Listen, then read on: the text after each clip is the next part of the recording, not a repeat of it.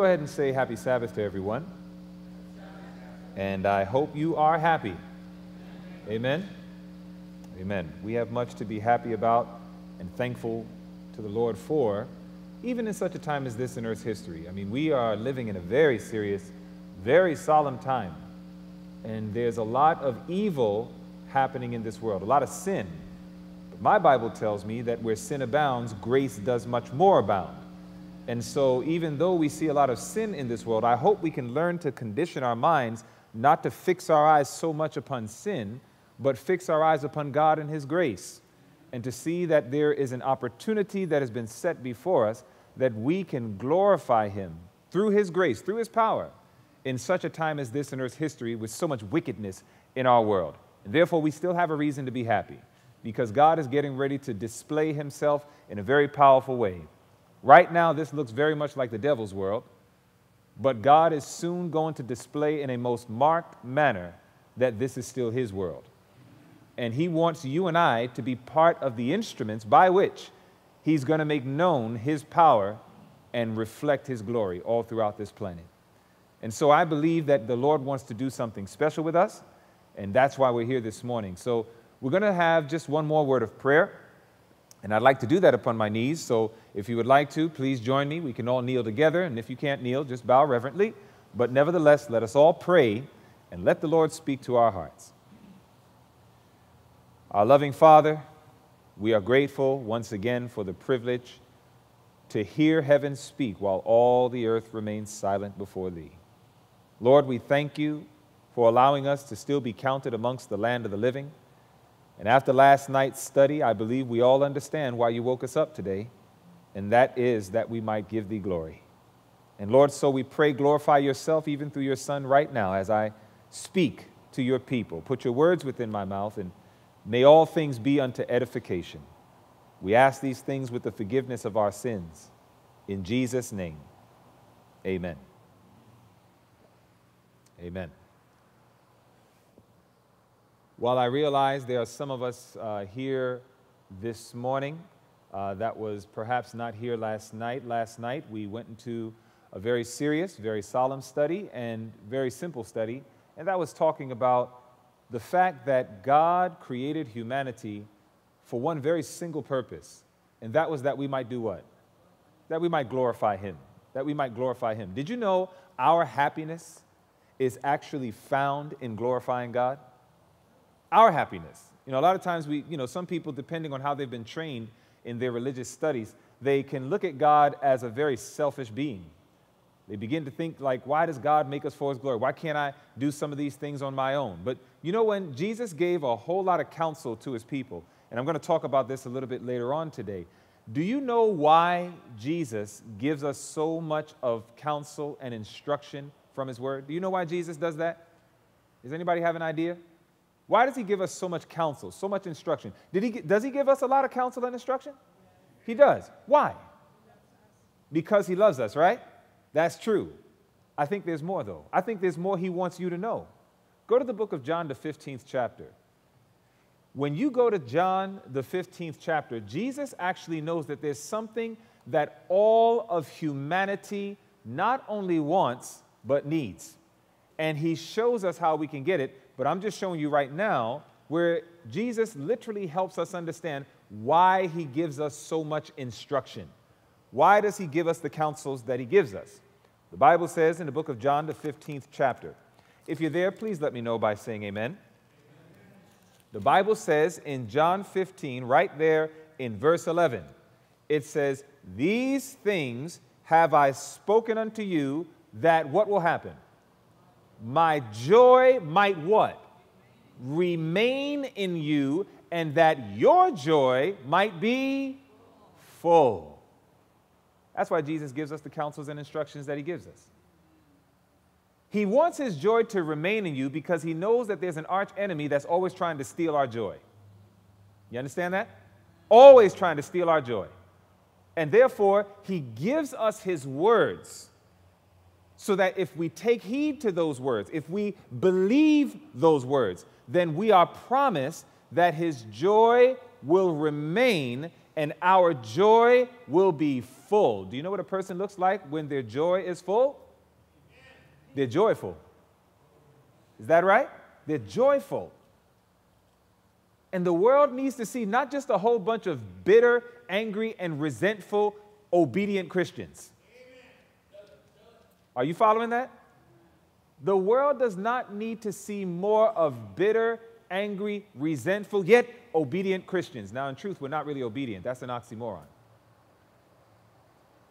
God does, He wants more from you and I than just an external compliance to what He calls us to do. God wants more from us than just a mere acknowledgement of the fact that He exists. I was going through Ministry of Healing this morning. This, let me tell you, this right here, this is the textbook. This is the textbook of textbooks. And I, I'm very serious when I say that. I mean, of course, we know that our Bible comes supreme. Everything is subject to Scripture. Amen? But when it comes to all these wonderful writings of this little woman by the name of Ellen G. White, I will tell you the truth that you cannot do yourself a greater disservice than to read all the other books and bypass this one. And the reason I say that is because you'll remember the Apostle Paul said in Philippians 2 and verse 5, he said, Let this what?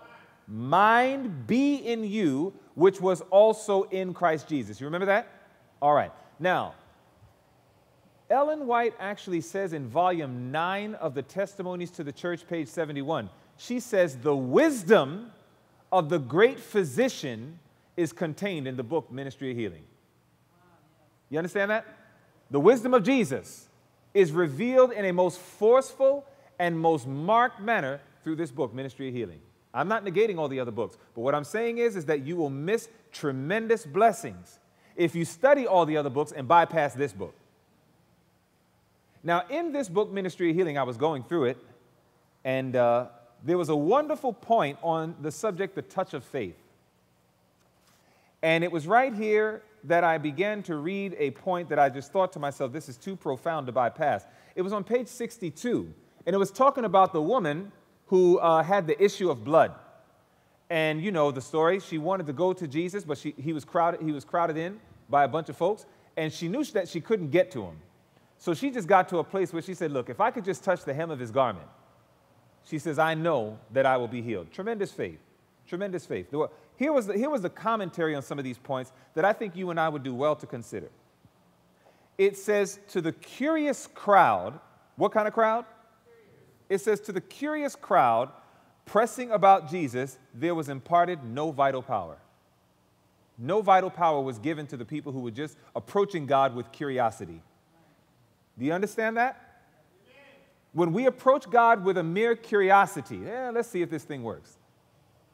Depending on how we approach God, will determine what you get from God.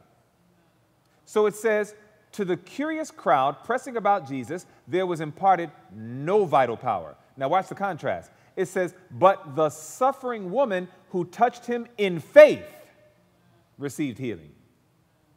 Then it says, so in spiritual things does the casual contact differ from the touch of faith. Now, watch this it says to believe in Christ merely as the Savior of the world can never bring healing to the soul.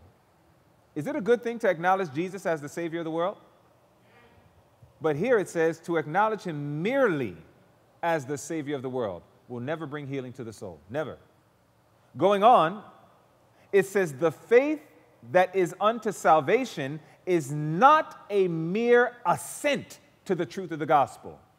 Is it important to give an acknowledgement to the truth of the gospel? Is that important? Yes, but it says the faith that is unto salvation is not a mere assent to the truth of the gospel.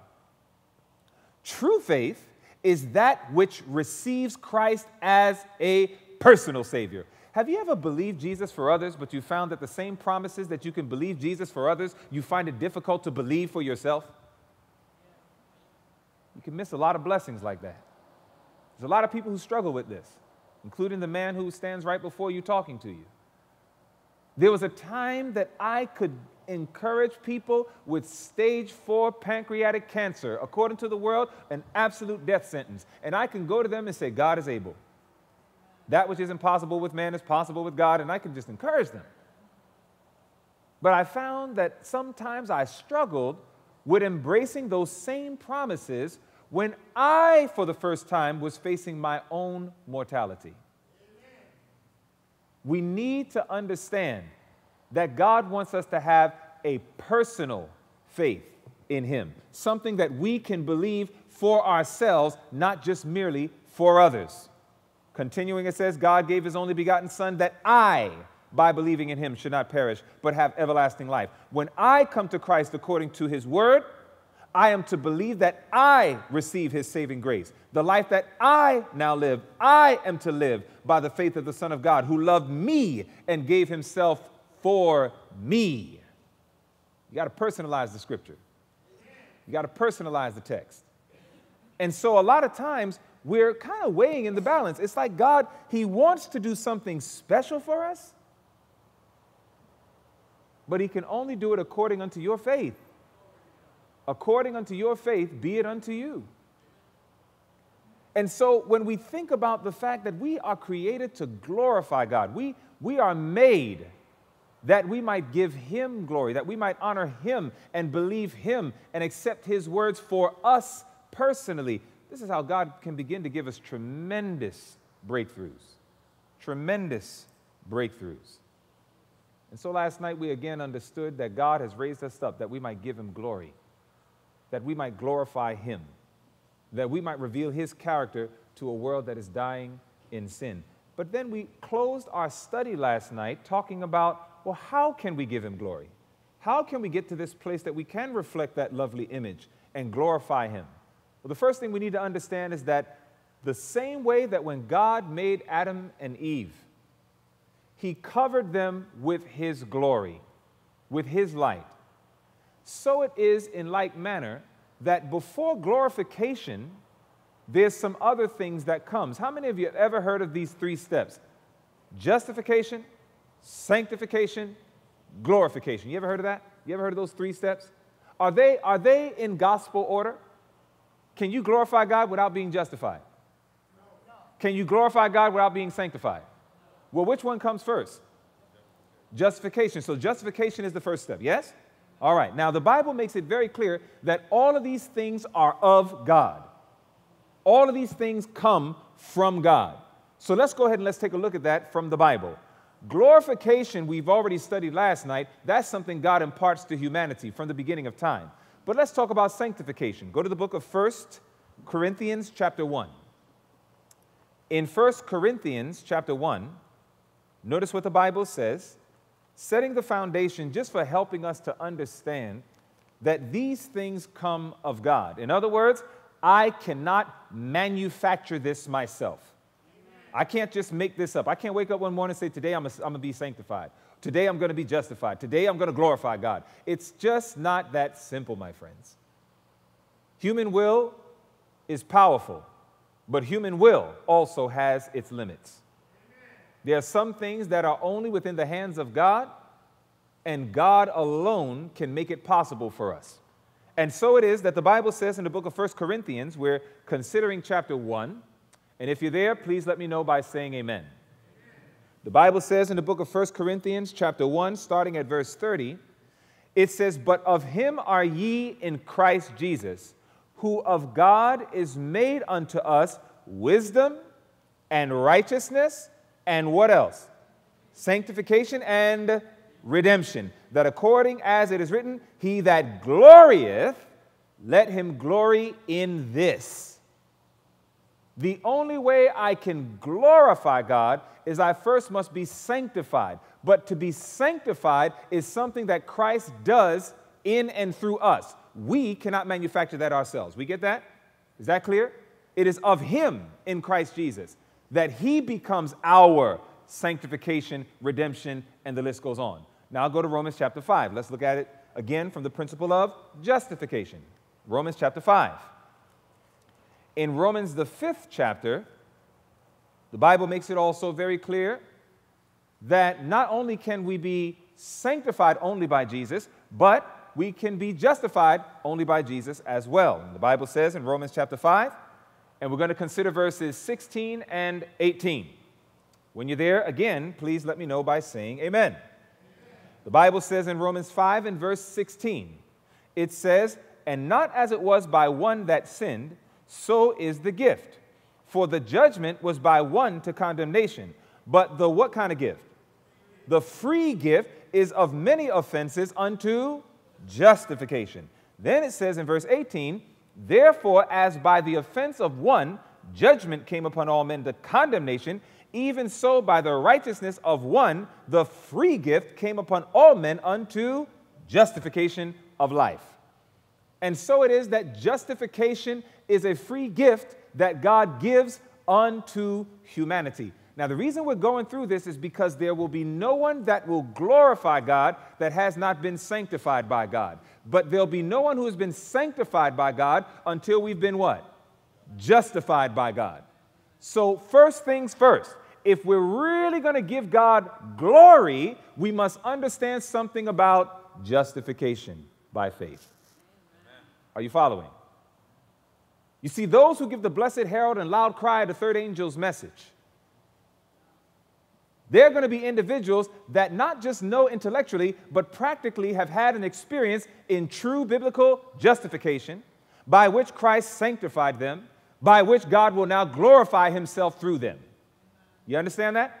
So if we are going to put ourselves in a position that we can glorify God in all that we eat, all that we drink, in all that we do, then we need to understand something about being sanctified by God we need to understand something about being justified by God.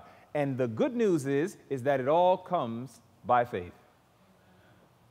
It all comes by faith. Justification by faith. Sanctification by faith. Glorification by faith in Jesus Christ. Amen. This is very important for the quote unquote what we call present truth world. There's a, there's a world in the Seventh day Adventist church that's called present truth. And I tell you the truth, brothers and sisters, if ever there was a need to study what present truth is, I believe we need to study that. Because there are a lot of people calling themselves present truth that I'm discovering by their dialogue they know nothing about present truth. And I speak from experience. There's, there were times in my life that I used to say, the present truth. And I really thought I, was, I knew what I was talking about. I didn't know what I was talking about. And so God wants to make sure that we really understand that because sometimes we use terms and cliches in Adventism, and sometimes we really don't know what we're talking about. There is no way that the work of God on earth will ever be finished until we know what justification, sanctification, and glorification by faith in Jesus Christ is all about. We just won't have it. One day, Jesus made a statement, and the statement was very powerful. Go to Matthew, the 11th chapter. I want you to see what he said. Matthew, the 11th chapter. How can we really get to a place that we can glorify God? We know it's our duty, we know it's our calling, we know that it's what God wants. Well, that's pretty clear. But let's really talk about it. How can I get to a place that I can really glorify God? The Bible says something in Matthew, the 11th chapter. You see, again, can we glorify God without Jesus? Can we be sanctified without Jesus? Can we be justified without Jesus? So, at every stage of what we're seeking to experience, we must come in contact with who? We got to come in contact with Jesus. Now, look at what Jesus says. He made it easy for us. Matthew 11 and verse 28, the Bible says in Matthew 11 and verse 28, he says, Do what? Come unto me all ye that labor and are heavy laden. And what does he promise? He says, And I will give you rest. I don't know about you, but I could use that rest. Some, this, this is a whole lot deeper than sleep. This is a peace that passes all understanding, even when the worst and the most vicious of storms of life come, that we know how to rest in the word and in the promises of God. Jesus says, Look, I am the one who justifies you. I am the one who sanctifies you. I am the one that's going to enable you to glorify me. But you first have to come unto me. It can't happen unless that happens. Now, I'm going through this because as I talk about this for you and I, this is also going to be important for us to understand when we go to talk about this to others that know not God. You understand that? So, believe it or not, this study is not just edifying for you, it is preparing us to know how to witness and minister to others. Amen? All right, so the Bible makes it clear. If Jesus is, or since Jesus is my justification, my sanctification, my glorification, then I must come unto him. He makes it clear come unto me. He wants you to come. How does he want us to come? Hebrews 4. The Bible says in the book of Hebrews 4 you must learn, and I must learn, how to shut the voice of the devil down with the word of God. The devil will often speak opposite of what the word of God says. There are some of us who sin, there are some of us who have erred, there are some of us who have fallen, and as a result of our erring and our falling, many a times we are timid before God. We run from God. I have a dear brother of mine that I was privileged to minister to, got baptized, started to walk in the Lord together. He fell into sin, and he decided to run away from God and from any of God's messengers. And for up to five to seven years, literally for five to seven years, I would call him every single year, different times in the year. Hey, man, just calling to see how you're doing. Want you to know I still love you, miss you. I hope one day you'll call me back. And he never would call back. And it was only until my crisis came with my heart. And when my crisis came with my heart, and everybody heard about it, including my friend. And what happened was he would, he would go online and he would look at Facebook just to watch what's happening without letting me know. And when he saw Dwayne is in trouble, he needs a very specific surgery, and for it to be done, it has to be done out of his network so he can't use medical coverage. Dwayne needs to come up with $86,000. And Dwayne only has a period of days to get it.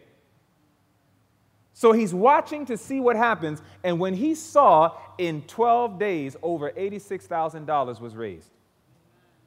12 days. He saw the report. The surgery went well. Dr. Banzel, who said very clearly, heart valve irreparable. I brought it to my surgeon. I said, Surgeon, the cardiologist said irreparable. What do you say? He said, I get the last say. I said, Okay. We go to him, we show it to him. He looks at the report. He says, Dwayne, your valves are in bad shape. He says, I cannot repair this. So now the surgeon says he can't repair it. My wife and I are looking at each other and we're in despair. We're saying, Lord, we believed you. We trusted your words. We believe you sent us to this surgeon. We believe you brought us to this individual. But now he's telling us he can't do what you told us he was going to do. Father, what do you want us to do? And the Lord said, Tell him a story. And so I looked at my surgeon. I said, Sir, can I tell you a story? He said, Yes. I said, There was a time that there was a man who went to London. And when he went to London, he uh, went to bed getting ready to preach that Sabbath morning. And he went to bed Friday night, and his heart stopped. And the doctor looked at me, and he was just looking, and his wife was in the room, and my wife. And I said, His heart just stopped. I said, Doctor, he did not get oxygen to his brain for over 30 minutes. What's the prognosis? He said, Death. No one can live that long without getting oxygen to their brain. No one. All the medical records say vegetable or dead. I said, I agree. I said, but the Bible lets us know that which is impossible with man is possible with God. I said, do you know that that same man is going to be here Monday for my surgery to pray with all of us and to pray with you? And I'll let you see for yourself that he is in sound mind and sound body. And I told that doctor, I said, God did a miracle on behalf of that man. Do you believe God can do a miracle with your hands on behalf of my heart? And he looked down and he looked at the screen with my heart on it. He looked down and he looked again. And he said, I think we can do it. And I said, I know you can do it. I know you can. You just got to put your trust in Him. He told my wife and I, He says, I don't have your faith. Do you know Christ Object Lesson says sometimes when we come in contact with people, we have to give them our faith, our courage, our strength. I said, That's all right. You don't have to have the faith. I'm letting you know that I'll give you mine. You can do this.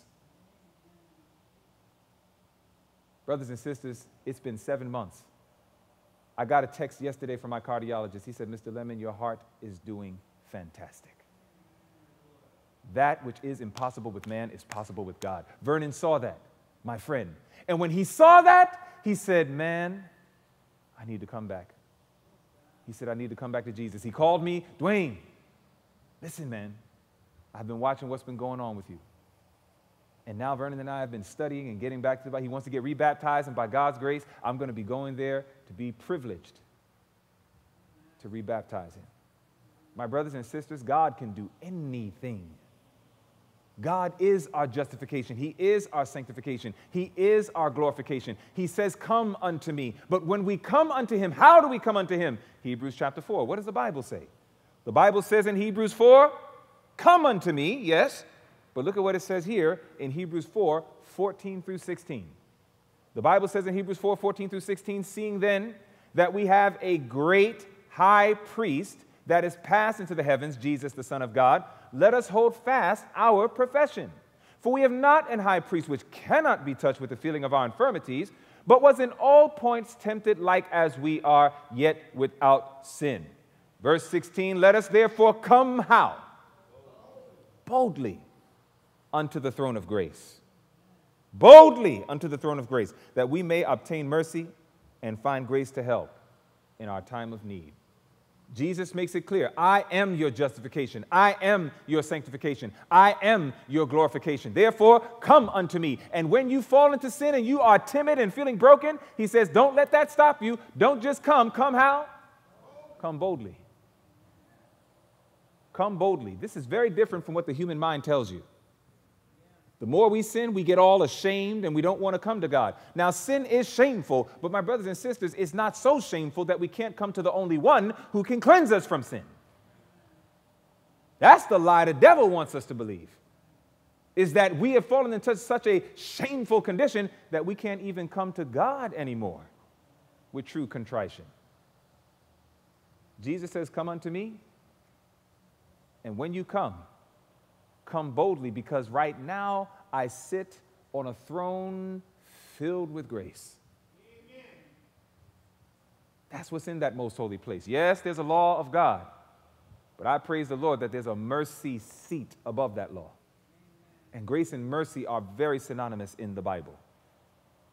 And so the first step is come unto him. Now, why is this important? Because go to Matthew 19. Watch this in Matthew 19, we need to understand if I'm going to glorify God, I need to be sanctified by God. If I'm going to be sanctified by God, I need to be justified by God. But if I'm going to be justified by God, I have to come to Him. And when I come to Him, do not come timidly, come boldly. Don't waste time ruminating and, and contemplating should I come to Him? I'm so sinful. I'm so wretched. I messed up so much. Oh man, I'm an evangelist. And how could it be that I failed? No, don't let any of that stuff get in the way. Jesus says, You come boldly to me. Once you see your sin and you see that I'm the only one that can clean you up from it, he says, Come boldly unto me, that I might clean you up and get you right. And so it is that the Bible says in Matthew 19 an incredible story that gives relevance to why I'm teaching this, even to the remnant Advent band. The Bible says in Matthew 19 that a man came to Jesus.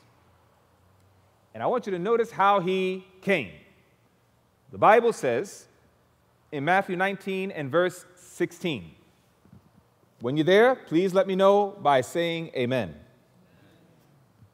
The Bible says in Matthew 19 and verse 16, and behold, one came and said unto him, Good master. What was his question? He, I, I wish he would have said, What shall I do? I wish that's what the verse says. That's not what the verse says, does it? He didn't say, What shall I do? He said, What good thing shall I do? That I might be what? that I might have eternal life. Do you know that there are a lot of people, even in the Seventh Adventist church, that are still making that mistake? Did he come to God? Did he come to God? Yes, he did. Did he come correct? No, he did not. Why? Because he wanted to know what work can I do to have eternal life. Now, my brothers and sisters, you already know what Ephesians 2 8 and 9 says. For by grace are ye saved through faith, and that not of yourselves. It is the gift of God. Then it says, not of works, lest any man should boast. If I can do a good thing and get salvation, God owes me. God is indebted to me. You understand that? There are a lot of us that actually still have a very works oriented approach to God. And how you approach God is more than likely how you function in God, and more than likely how you'll end up leaving God. This man came thinking, What works can I do that I might have a gift that you offer humanity? Follow that? What works can I do that I might have the gift that you offer humanity? Is eternal life a gift? The wages of sin is death, but the gift of God is eternal life through Jesus Christ our Lord. But he didn't want the gift, he wanted to work his way in. You follow that? What work can I do? So then Jesus starts showing him. You know the story, I would imagine. If you don't, just keep reading the verses. Jesus shows his brother, he says, Well, okay, keep the commandments. He answers his question. He says, Well, this I've done for my youth up. Jesus says, Really? Okay. And then he goes ahead and gives him another one. And how he came to Christ, ultimately, that's how he left Christ. Came in focused on his works, he left focused on his works. Jesus said, You got to give up some of your works. You got to give up some of that fruit of your works, all those riches that you've made, all that money, all those things that are so precious to you. I need you to give all of that up and follow me. Those riches came as a result of his works. He came to God with a works orientation, to, trying to receive salvation, and he left God focused on his works. And he missed the gift. I wonder if there are Seventh day Adventists that are like that. I wonder if there's some of us who make that same vicious mistake like this brother made. You see, one of the great reasons, let me bottom line it, one of the great reasons why many of us cannot presently and probably will not eternally glorify God is because we came to Him wrong and we're functioning in Him wrong right now. How did you come to Jesus? How did you come to him? Because however you came to him, maybe that's how you're still functioning in him right now. And maybe that's why we're missing a lot of the key powerful blessings that God wants to give us, including true justification, sanctification, and glorification. How did you come to him? Well, I would imagine we would definitely run out of Sabbath school time if we were to go ahead, detail, and point by point, person by person, and go into how we came to him. And so I'm just going to show you the right way to come to him. Is that all right?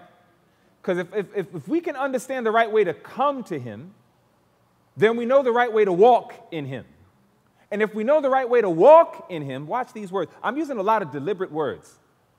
If we know how to come, that's a deliberate word. If we know how to come to him, then we know how to walk, that's a deliberate word then we know how to walk in Him. And if we know how to walk in Him, we will know how to be justified in Him, sanctified in Him, and glorify Him. Go to the book of Leviticus, chapter 4. Leviticus, the fourth chapter. It's a beautiful, beautiful breakdown of how we can come to God. And I really wish that we had the time during our Sabbath school to go, you know, point by point. I'm a point by point preacher. I like to go through things point by point. I love definition of terms. I like studying verse by verse. We won't be able to exhaust it, but you can in your spare time. But I want you to look at Leviticus 4, and we're going to look at verses 27 to 31. And I want you to watch it very carefully. In Leviticus 4, 27 to 31. What I'll do is I'll read verse 27, you'll do 28, I'll do 29, and we'll take it down to 31. All right. If you're there, please say amen.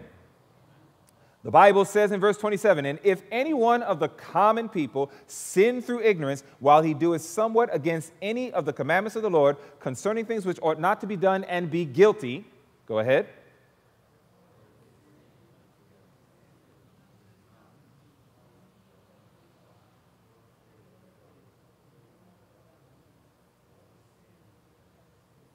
Verse 29 And he shall lay his hand upon the head of the sin offering and slay the sin offering in the place of the burnt offering.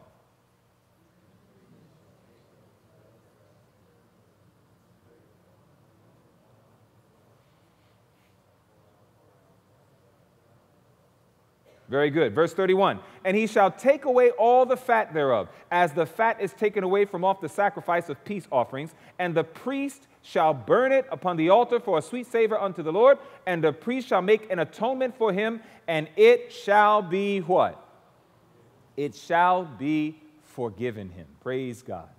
This is how, this is how common people were supposed to come to Jesus.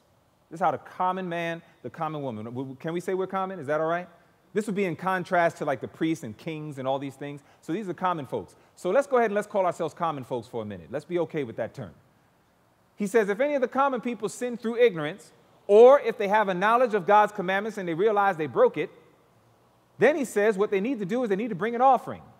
Now, if we were to study the principles of type and anti type, we know that the offering, the lamb, the, without blemish, all these things, they represent Jesus. Okay, let me just say that in short. If you need a study on that, we can study it.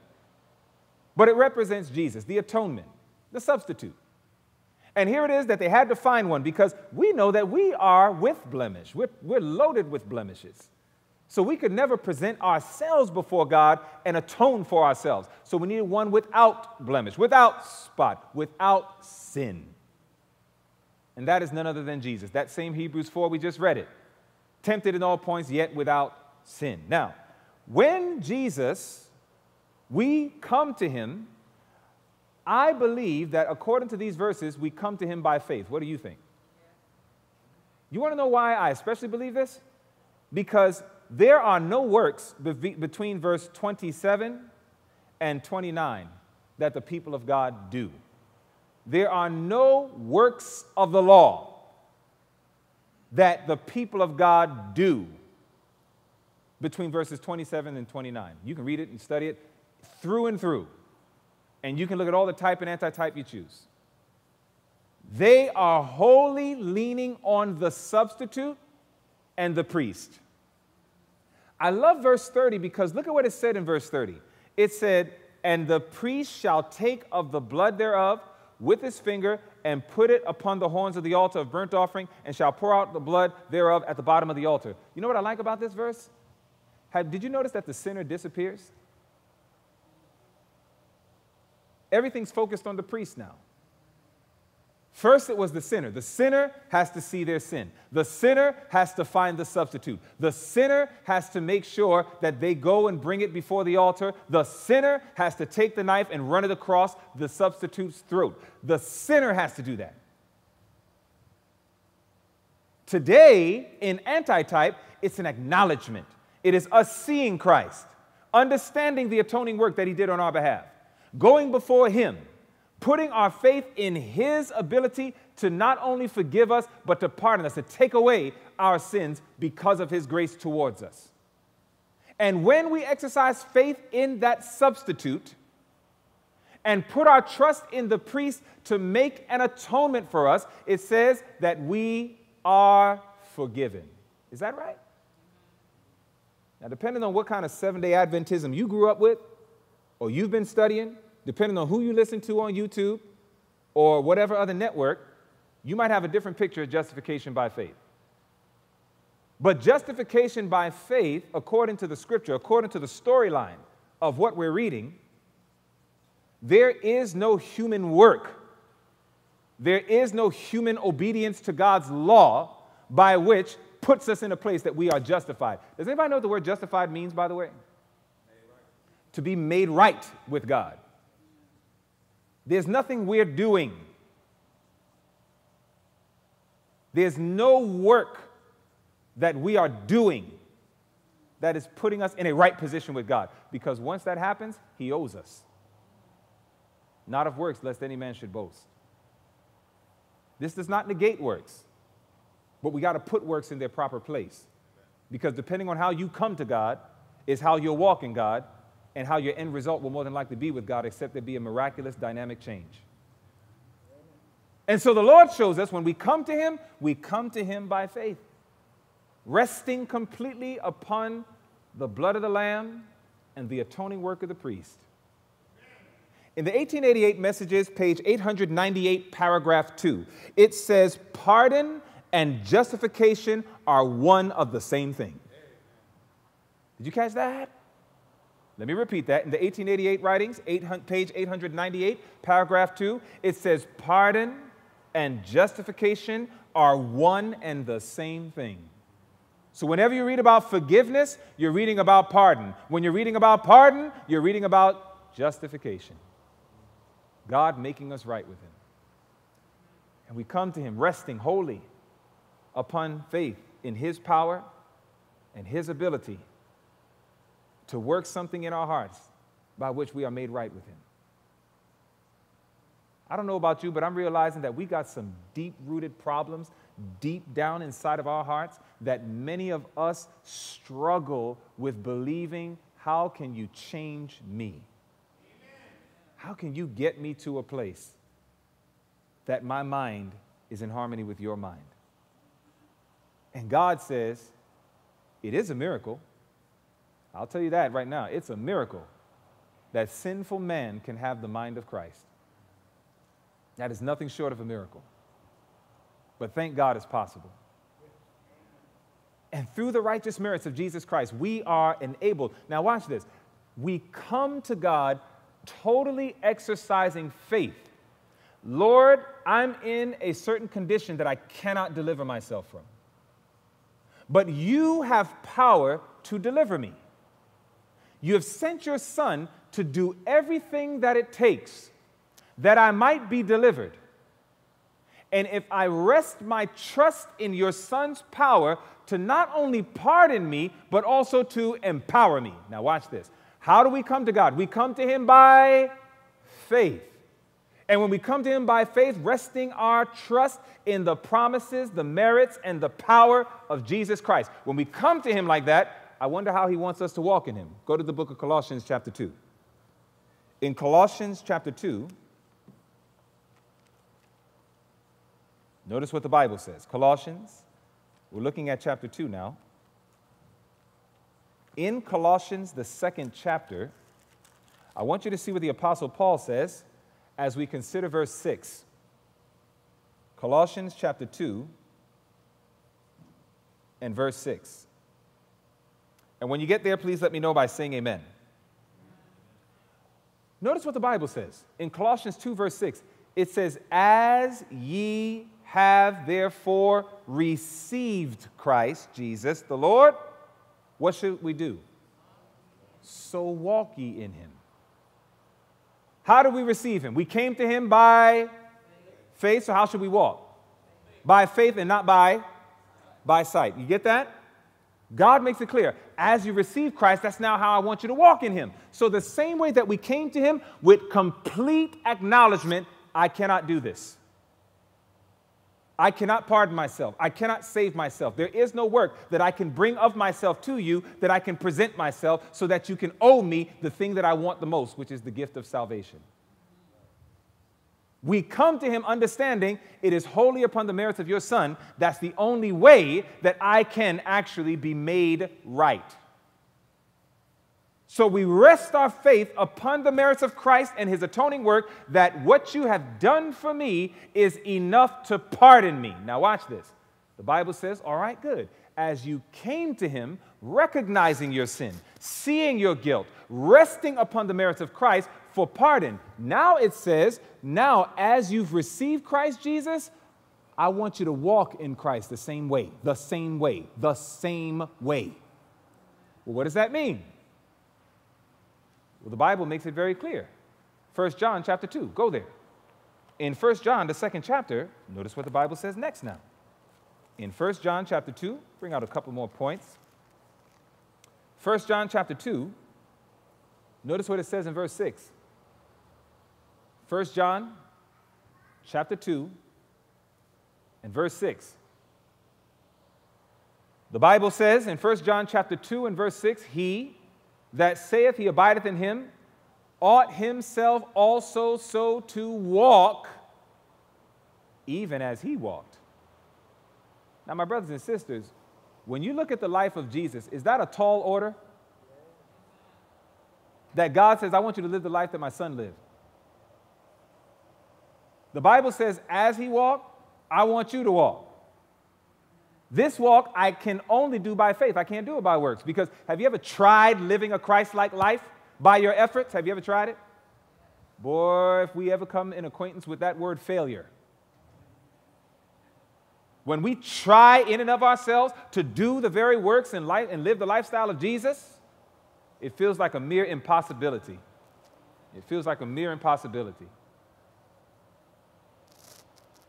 And that's why you know we're going to also need to exercise in our walk with Him? Faith. This faith is not just in His pardoning power, this faith is also in the context of His empowering. The same faith that I exercise to believe that I can't make myself right with you, but you can because of your grace and power and merits, is the same faith now that I'm going to come to Jesus to say, I can't live this righteous life without you. Therefore, I'm going to rest my faith in your grace and merits. That whatever you bid me to do, I am trusting you have enabled me to do it. So, in your strength, I will obey. And you will find that if we approach God like that, you'll have far more success in your life of obedience. But here's the key point. Here's the key point. Here's the crux right here. I remember reading Testimonies to Ministers and Gospel Workers, page 456. And it made a statement. And the statement said, What is justification by faith? And it said this It is the work of God in laying the glory of man in the dust and doing for man that which it is not in his power to do for himself. Now, watch this very carefully as we're closing. When you think of how we come to God and are justified, we understand that God is doing something for us that we have no power to do of ourselves. Do you know that justification by faith cannot work until we recognize we can't do it? It can't work. We can't do it until I can see that this is something that only God can do and God can accomplish. But here's the part that we often miss. The question was asked, What is justification by faith? The answer was given it is the work of God in laying the glory of man in the dust. Then it says, and that God will do for man that which he cannot do for himself. So you ever wonder, Lord, I realize I can't do it. Lord, I realize I can't do it.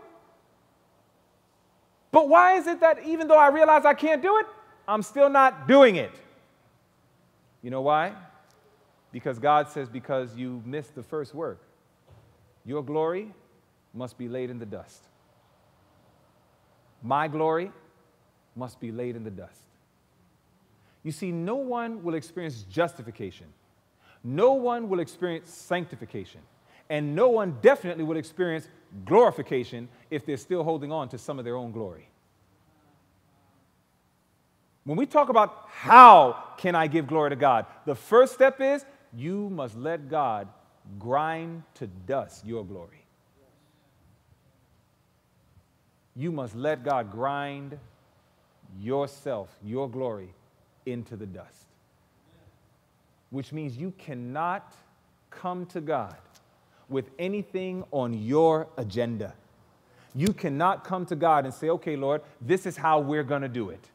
You cannot come to God and hold on to a little bit of your accolades while you're trying to hold on to some of Christ's accolades. You and I must realize that everything that we have ever done, everything that we will ever do, everything that we will ever accomplish had nothing to do with you. Had nothing to do with me. If there's one thing that the Bible makes very clear and the Bible never speaks about is the greatness of man.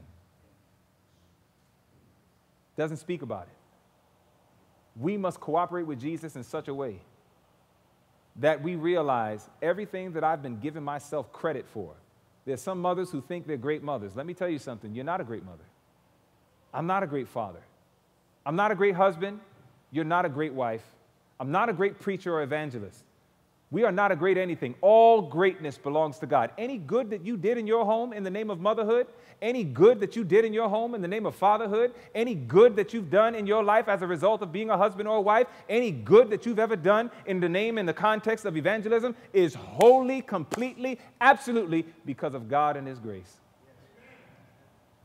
Now, you know what, you know what's so sad?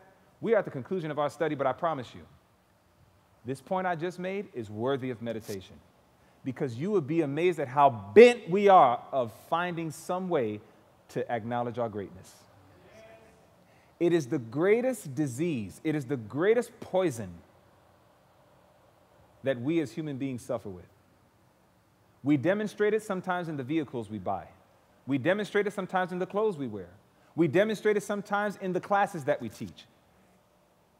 You can see human glory rise up very easily and oh, I can be a very nice, humble man until you cross me. Cross me and get me upset. Say something that embarrasses me. And you might see some of that human self glory just rise up and come out. There's still a tremendous lesson we all need to learn at the foot of the cross. We'll talk a little bit more about this at our 11 o'clock study. But the first lesson that we need to understand in our conclusion of our Sabbath school before there's glorification, there's sanctification. Before sanctification, there's justification. The only way we can be justified, we must come unto him. And when we come unto him, we are to come boldly. But the problem is, most people are coming to him wrong. And they're coming to him based on some level of work, glory, of self orientation that we bring into Christianity. Therefore, God had to remind us how we come to Him, recognizing all glory has to be laid in the dust. There is nothing that you and I can do or ever will do that will give us credit before heaven. Did you know Job even had a problem understanding this? When Job went through all his drama, Job says, I understand if I didn't feed the homeless. I understand if I didn't clothe the naked. I understand if I didn't. He literally threw that back at God, and he did that. And boy, by the time you get to Job, what is it? I think it's Job 38, 39. God was just listening. Job was like, Oh Lord, I, I understand. If I, if I didn't do all these things, I understand why I'm suffering. But I did do all these things. Why am I suffering? Job challenged God. He didn't disrespect him, but he was at such a desperate place because of his friends. Y'all need to catch that. Job was strong when he stood by himself. Job was strong when even his wife rebuked him, but it was his friends that almost derailed him. And Job gets to a place that he's saying, Lord, I've done so much good. Why am I going through all this? And when God finished listening to him, you should read how God responded. God says, Okay, you finished talking, Job? It's my turn to talk. Who made man's mouth, Job? Job, who, and I mean, when God give you a spanking, whew, that thing will fix you right. And God began to get on him and say, Job, who has done this? Job was looking to his works. Job actually started saying, Look at all these things I'm doing. Why am I going through this? And he didn't understand God was allowing him to go through it for his glory. So if Job could make that mistake, you think we could probably make that mistake? That we look to our works, our glory? Yes. My brothers and sisters, the first lesson we must learn if we are going to glorify God, we must cease the language of lifting up and glorifying ourselves in those little subtle as, as well as very forthright, bold ways. We must get to a place that we understand our nothingness. For that's the only time we can truly understand God's greatness. Question for you Did you understand the study thus far this morning? Amen? Do you understand it? Amen? We're going to go ahead and we're going to continue on that. And with that being stated, let's close with a word of prayer, and then we will progress throughout the remainder of our day. Let us pray. Loving Father, we are so grateful that we have the privilege to give Thee glory. But Lord, it's going to take a lot more than we think because no man can of himself truly deny himself. It's a power that you give to all of us. That if we could simply see that power for what it is, oh God, we can see true change in our lives. Lord, forgive us for the several ways that we have directly, and perhaps for the majority of us indirectly, have lifted up ourselves and shown forth our glory as the reason why we have breath of life, health, strength, or any of these blessings of heaven. Forgive us, Lord, for the way that we've come to you. Teach us, dear God, how to really allow you to lay our glory in the dust. So finally, you can do for us that which it is impossible for us to do for ourselves. In Jesus' name. Amen.